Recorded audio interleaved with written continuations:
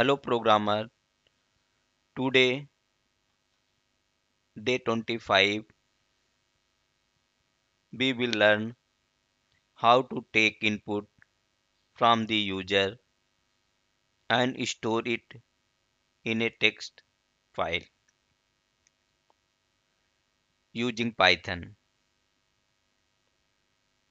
File handling in Python is a lot easier when compared to other programming language.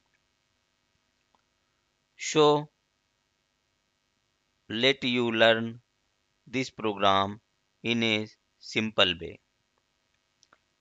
First of all, we will take input from the user and we will store that inbuilt in a variable called data.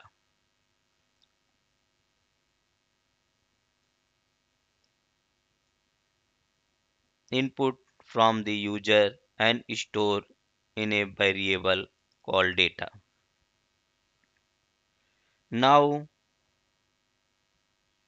we will open the file using inbuilt inbuilt open methods.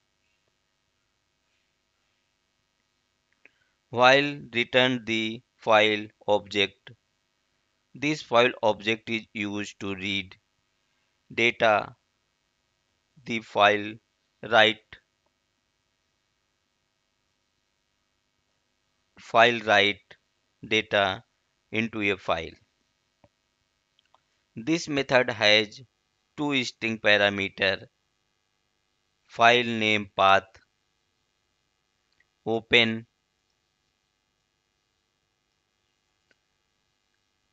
the file current directory mode we will specify the mode of write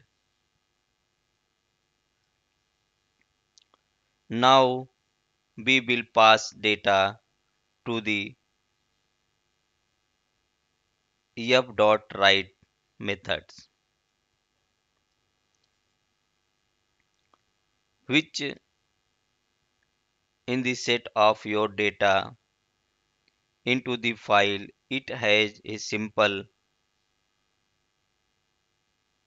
a single parameter data. Let's run the program.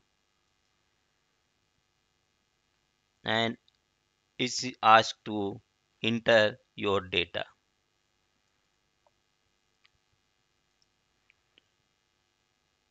Enter and press enter. Enter your data. Please like and subscribe to channel and press bell icon to get new video update.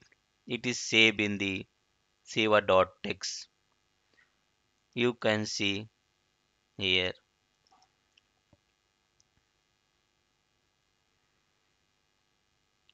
Seva.txt same data is available